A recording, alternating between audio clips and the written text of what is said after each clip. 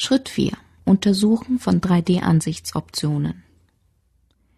In diesem Schritt erhalten Sie einen schnellen Überblick über die Anzeigemöglichkeiten von Archicad. Es stehen zwei Engines zum Erzeugen der 3D-Ansicht zur Verfügung. Die beiden Engines weisen unterschiedliche Möglichkeiten auf.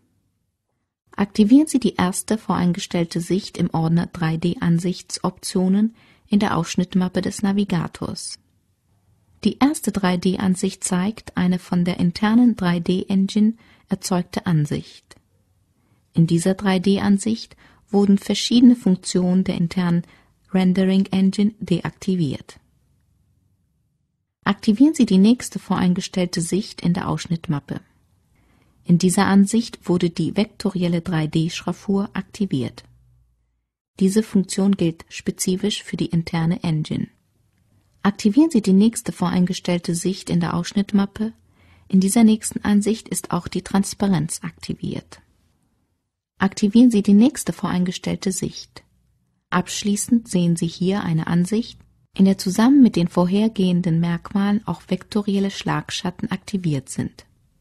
Das Erzeugen dieser Phase kann etwas länger dauern, da die interne 3D-Engine im Gegensatz zu OpenGL Engine die Funktionen der Grafikkarte nicht nutzt. Aktivieren Sie die nächste voreingestellte Sicht in der Ausschnittmappe. Hier wurde der 3D-Blickpunkt mit der OpenGL 3D Engine erzeugt, wobei einige seiner Merkmale ausgeschaltet waren.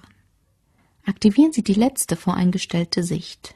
In dieser letzten Sicht sind Texturen und Transparenz aktiviert.